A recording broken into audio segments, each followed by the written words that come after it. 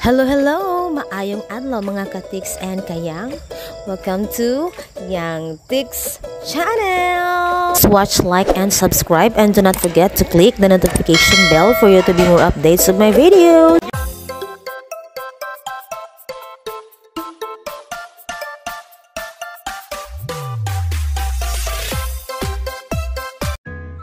Good morning for the second day of unplanned na nalaag. So, nabisi na sila para sa pag-prepare para sa next destination or for the next na amo ang himuon karon so so everybody is ready na. Nakaligo na sila. And then ako wala pa. Nag-ready na po sila. Kaya naapo na mong isa ka friend nga si Yuyong. Na nasa ubos na gulat. Gana kailahang kaon. Kaya nami kayong pagkaon gipalit ni father kailangan mo gumugawa so napalit na lang siya og foods para pakaon sa mga bata. Natay egg juice cup noodles. So mamahaw ta. Na naata si Yuyong sa baba which is pinakalitra po niya paghangad para sa laat mga unta ninyo guys abti kay ni among amiga kaniabot na dayon diri sa amuang hotel nga gistayhan. Hello Yong salamat sa pag-visit. Um, excited na in taon ang mga bata nga mulaag. O selfiehan kadali kaya ready naman ang all let's go! Ahan po tiha na nga ang destination ang taon ka mga laagan nga mga bata. Asa man yung taon ng liwat oy. Oy kani bongga. Nami car oh, car is among amega. Picture sa daw kadali oh, plaster sa nata to mga gamit aron walay malitan. Kagwapa sa among amega oy si Yuyong dahil ni sexy pa yun.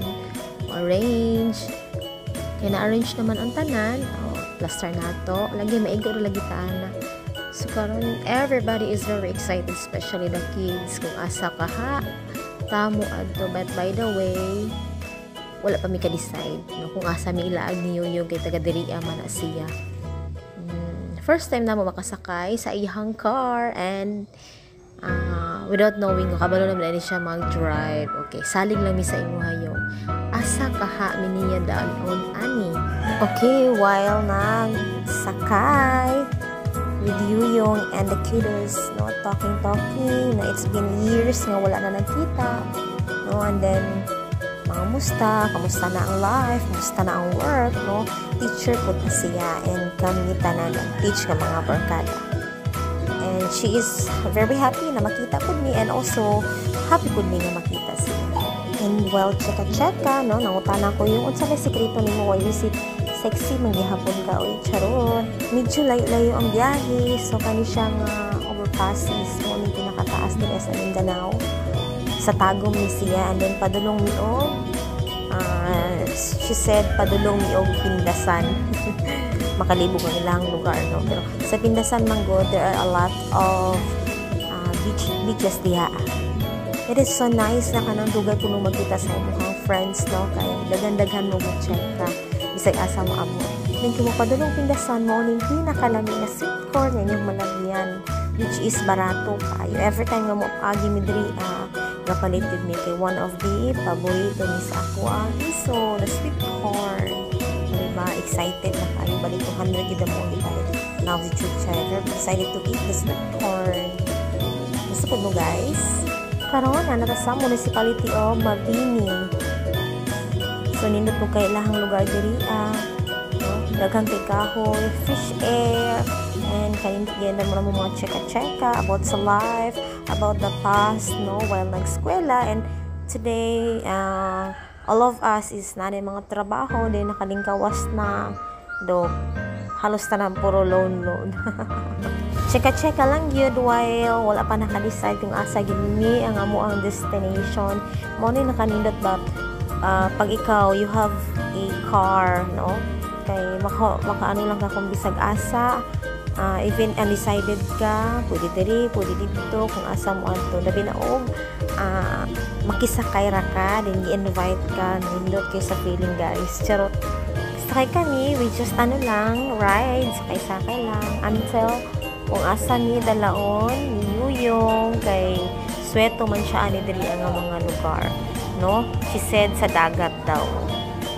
Asa po ka nga dagat. Okay, so karon na nami diri sa dagat. pero we don't know the name of this dagat. so, anong ginawa namin is, uh, we just took photos, no, pa-picture, no, kay most of the time, ang kaninga panahon, it's holiday, uh, halos na ng tao is nagpadagat, no, nagbakasyon, gi-enjoy ang holiday, a long holiday. So, yeah, this is it, dagat kanin pang dagat. After we took photo, no, we decide nga, okay, balik sa sakyanan, we find another place kung asa man yun, okay, so sakay-sakay ragit mi, no. Yun.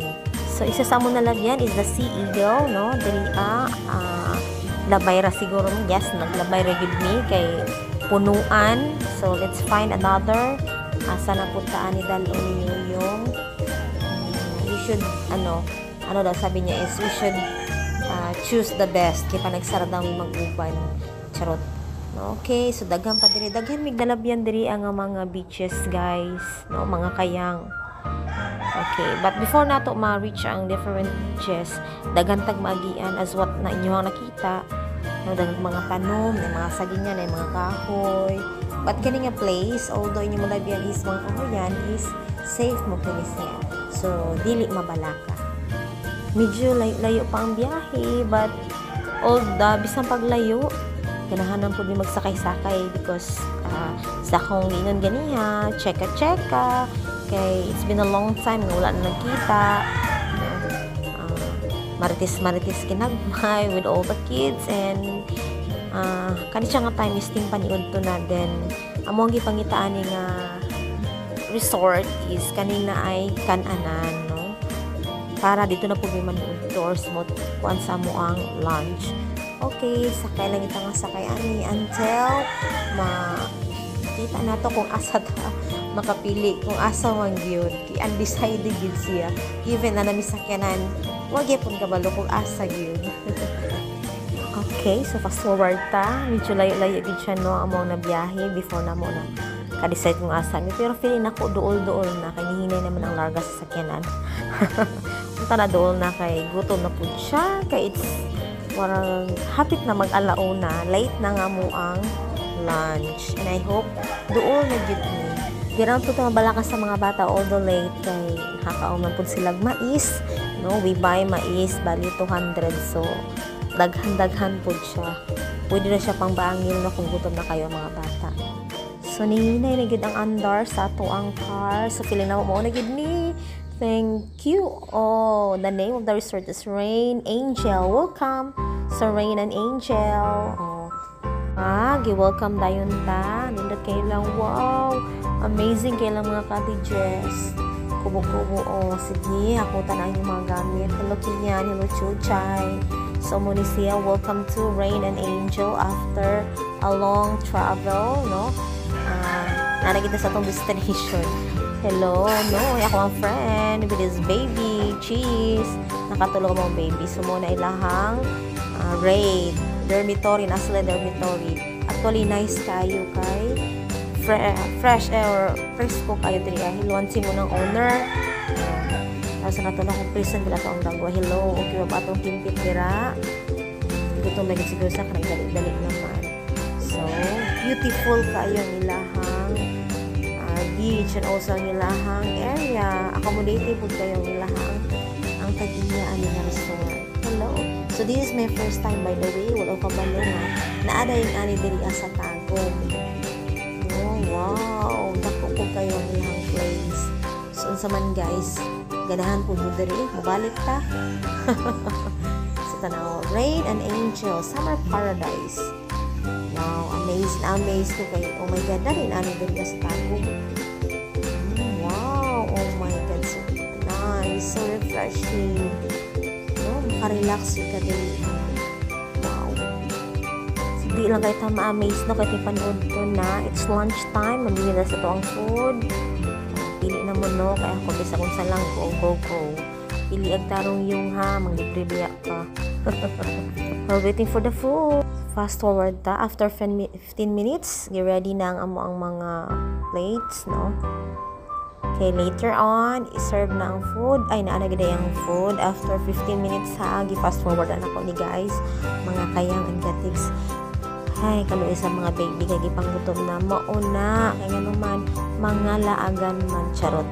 No, wala na sa lagot man guys ha. Na na sila mga food sa gipangdala. Nagkaon na sila og mais.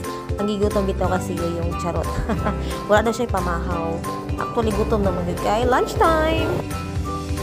Okay, so time na sa pagkaon. Well, nagkaon, cheka-cheka. Okay. treasure ang time kay lagyo na bayata. Then, panagsarapod siya yung makasabay sa mo. Though, layo na siya, busy sa sa iyang life, pero wala yung nagbago sa iya.